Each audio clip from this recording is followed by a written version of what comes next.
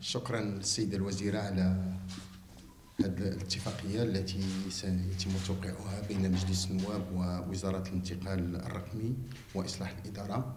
نحن جد سعداء وفخورين بهذه الاتفاقية التي آه، ستعزز آه، استعمال اللغة الأمازيغية كلغة رسمية.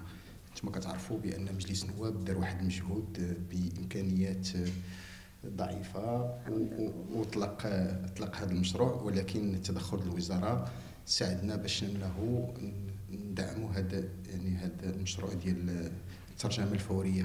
وزارة الانتقال الرقمي وإصلاح الإدارة تعطي أولوية كبيرة لتفعيل طابع رسمي اللغة الأمازيغية آه، تماشيا مع التوجيهات السامية ديال صاحب جلالة الله ينصرو فالوزارة تتقدم دعم واحد المشاريع مهمة تيديرها مجلس النواب اللي هي الترجمة الفورية ديال الجلسات العمومية من وإلى الأمازيغية واللي تثبت في القنوات التلفزيونية والإذاعات العمومية الأمازيغية وأيضا في الإذاعة ديال اليوتيوب ديال مجلس النواب.